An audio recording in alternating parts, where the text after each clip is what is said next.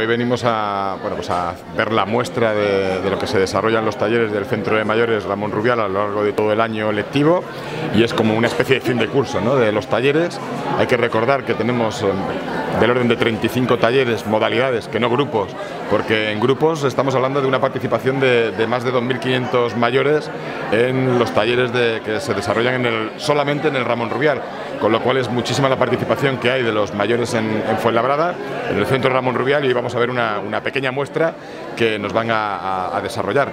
Bueno, pues en el Ramón Rubial es un centro el más antiguo que tenemos, hay que recordar que tenemos tres porque en el último año hemos puesto en marcha el Centro de Mayores de Loranca y el Ferrer y Guardia y por eso tiene pues más tradición, ¿no? Entonces eh, tenemos del orden de 2.500 eh, participando, otros 500, casi 1.000 que vienen a otras distintas actividades que se desarrollan y en definitiva tenemos un montón de, de, gente mayor que participa en este centro, que es un poco el centro de referencia, ¿no? Es verdad que a lo largo de esta semana iremos a los fines de curso de otros, de Ferrer y Guardia, del, de, del Centro de Mayores de Loranca, y bueno, pues ver la muestra de lo que desarrollan, de los cursos que desarrollan a lo largo del año.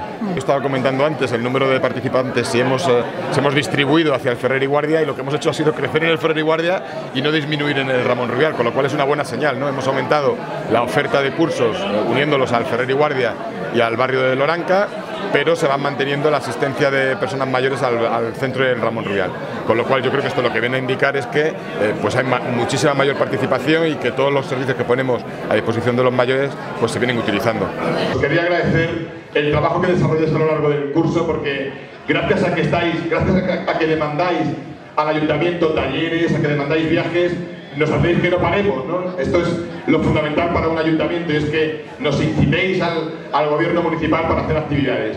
Yo, como nuevo alcalde, sabéis de mi compromiso con los mayores y que me voy a esforzar para que esto siga siendo así. Yo quiero agradecer, como decía anteriormente Ana, al Consejo de Participación del, del Ramón Rubial todo el trabajo que desarrolla a lo largo del año y un aviso, descansad este verano, porque en septiembre venimos con fuerza, ¿eh? que va a ser el año que va a tener completo y vamos a venir con muchísima actividad y de eso me voy a encargar como alcalde. Así que por mi parte, nada más y vamos a disfrutar. Venga, muchísimas gracias.